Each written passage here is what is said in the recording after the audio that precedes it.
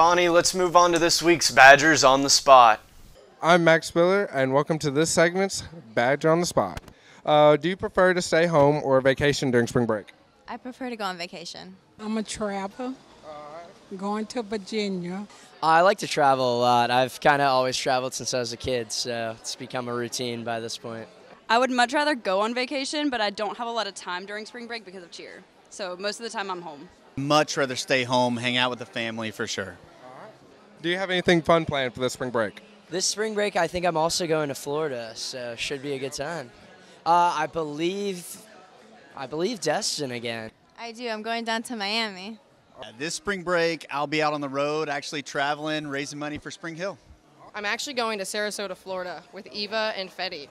What's one of your favorite memories from previous spring breaks?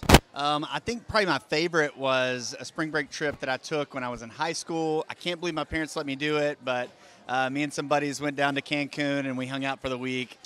Um, I went to 10,000 Islands with my friends.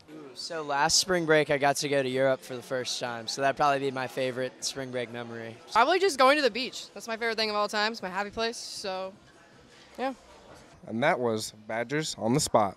That's all for this week's Spring Hill Now. Remember, you can get all Spring Hill Now newscasts on demand at vimeo.com.